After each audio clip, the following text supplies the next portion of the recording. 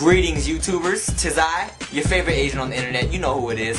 Timothy De La Ghetto. And we're back once again with your favorite show on the internet. And I know it's your favorite show because you people keep leaving me comments asking me every day, when's the new Dear De La Ghetto coming out? Hey, shut up. Because I do these things when I want to do them, okay? So shut up. I'm sorry, YouTube. I didn't mean to yell at you like that. Um, I just got a little upset. Um, I've been stressed out a lot lately. You know what I'm saying? Um, I'm on my period. So um, I, didn't mean to yell at you. Just I, I don't I don't want you to shut up. Okay? I just want you to relax. Just relax. All right then. Let's get down to business. First things first. Uh, to defeat the Huns. Big up to uh, today's shirt of the week provided by Explicit Clothing. As you can see, it's a tree with dollar bills coming off of it, and it says I stack trees. Big ups to them for helping me keep it funky fresh as always. Here's their MySpace. I'll put it right down here. You can check them dudes out. Let's get this shit cracking. First question. Hey, it's one of your subscribers, Fear Me 33 I was just curious, if you were to go back in time in history, where would you go? And for when you got there, if something had unsettled you, would you change it? And why would you change it? Um, yes, here's where I would go in history to change history, okay? When I was four years old, I used to stay at this babysitter's in Gardena, okay? And I used to wear those little um zip all the way uh, pajama suits, the ones that had the feet and the hood and uh, I had a bunny one, okay? And I wasn't wearing any drawers, okay? Don't ask me why. I didn't like drawers, okay? So she's zipping me up after a shower or a fondling. I don't know what was going on, okay? But um, I guess my penis was out, and she caught my penis in, in my zipper. And then this is a traumatizing event for a four-year-old Asian kid, okay?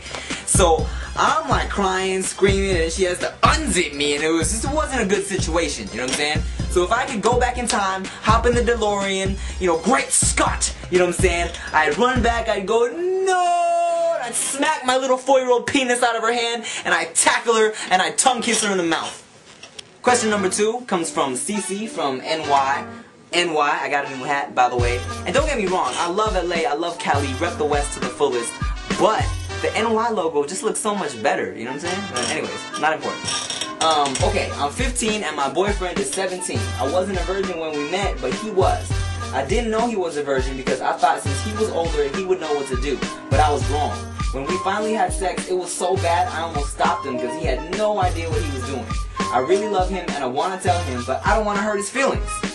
Should I tell him and does practice make perfect? Okay, Cece, check it out. Um, around the second girl I had ever had sex with, um, was only like the second time I'd ever had sex with anybody, okay? And I was super inexperienced, you know what I'm saying? But she, she thought it was gonna, I was like dope, you know? So, needless to say, um, I skeeted like super fast, you know? And she was like, what? What happened? Oh my god, that was like three minutes! And I'm like, and it was just so, it's not a good experience, man. It messes a dude up, you know? And don't, if you really love this dude, do not let him go on thinking that he is doing good. You know what I'm saying? I mean, there are ways. You could just be like, baby, how about you try doing this? Or it really turns me on when you do this, you know? It really turns me on when you uh, bite my nipples or shove that shampoo bottle up my ass, you know what I'm saying? Just let him know what you can do to make it better, you know? And I promise you, the more you do it, the better he will get, you know what I'm saying? Like, Try some, try some different junk, you know, like get on the internet, look up some tips, do it together, watch porn together, get some ideas, you know what I'm saying? Because the, the key to a relationship is communication and lubrication, you know what I'm saying? That's all you need. and believe me, in the year and a half that me and my chick have been together, I've improved greatly, you know what I'm saying? Just because we be doing it so much, you know what I'm saying? Especially you're just getting with this dude. In the beginning of the relationship, that's all you do is just have have sex and eat, you know what I'm saying? Like I'd be freaking or both at the same time. I eat a I eat a Big Mac off her vagina, you know what I'm saying? Because I'd be hungry and horny. I'd be horngry, you know what I'm saying? So so that's what you do. Buy some Big Macs, buy some sex books, communicate. That's all I'm saying. Communicate. Question number three. I am a 15 year old girl who is friends with this amazing guy, Jared. He has a girlfriend for almost three years. Him and I started to hang out, we started to mess around, blah blah blah, we ended up having sex. Now it's kind of like a friends with benefits thing, but I have more than just friends feelings for him. He says that he wants to be with me but does not know what to do. Mm -mm. His girlfriend treats him really bad and always makes him upset. Sometimes I want to end the sex and kissing, but most of the time I don't because I like him a lot. I'm also starting to think I'm in love with him. What should I do because I'm starting to feel really hurt? Jasmine, aka Exotic. Well, Jasmine, aka Exotic, first of all, what are you doing? I mean, you should not be getting this involved with a dude that has a girlfriend. I mean, to tell you the truth, if you really wanted to mess with dude, dude, I mean, you know, bone him a couple times, leave it alone. You know what I'm saying? He has a girlfriend of three years. It's highly unlikely that he's all of a sudden gonna be like leaving her for you. Let's let's put the girlfriend thing aside for now. Let's just say you are having this friends with benefit situation, okay? From my experience, no matter how good you think it may be going, it, it, it, it, it's not gonna work out. Because unless you have a really good communication in the beginning like look we're having sex that's all it is I don't want anything else you know what I'm saying? Because somebody always catches feelings. And that's just how it works like it's sex you know it's intimate. And he's been with this chick for like what three years? It just seems to me like he has his main dish and you're the macaroni and cheese, you know what I'm saying? And and I don't doubt that it's really good macaroni and cheese. You know, it, it might be so good he's getting seconds and thirds on this macaroni and cheese, but I, I, it's my professional opinion of not having expertise in anything that he is just basically trying to get some side sex from you. You know what I'm saying? I really doubt that he's gonna break up with his chick for you.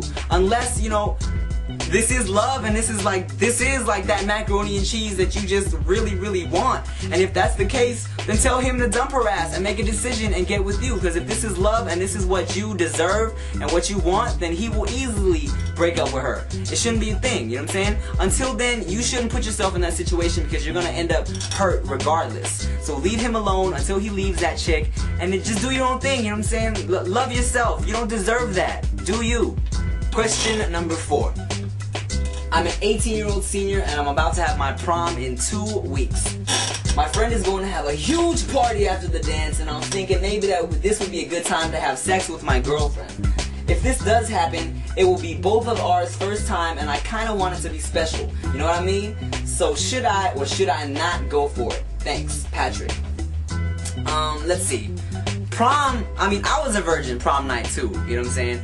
And, um, and it was fun, you know, I was prom king and we had a good time, danced it up or whatever.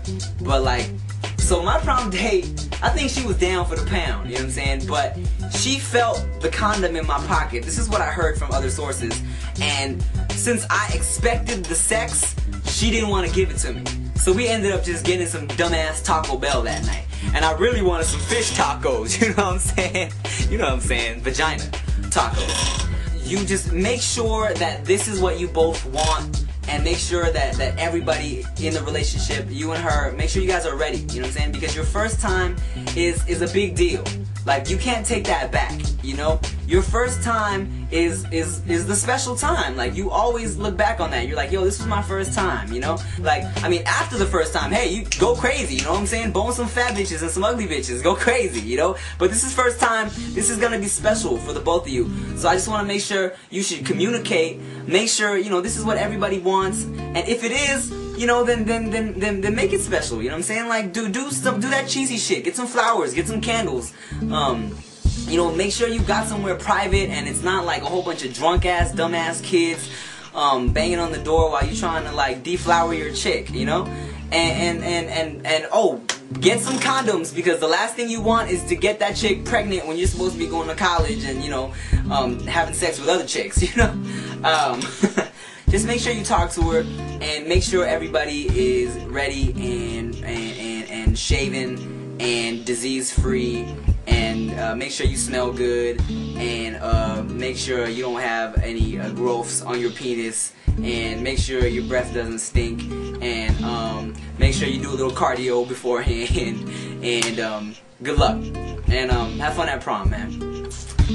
And on that note thank you for tuning in I hope you enjoyed this edition of Dear De La Ghetto.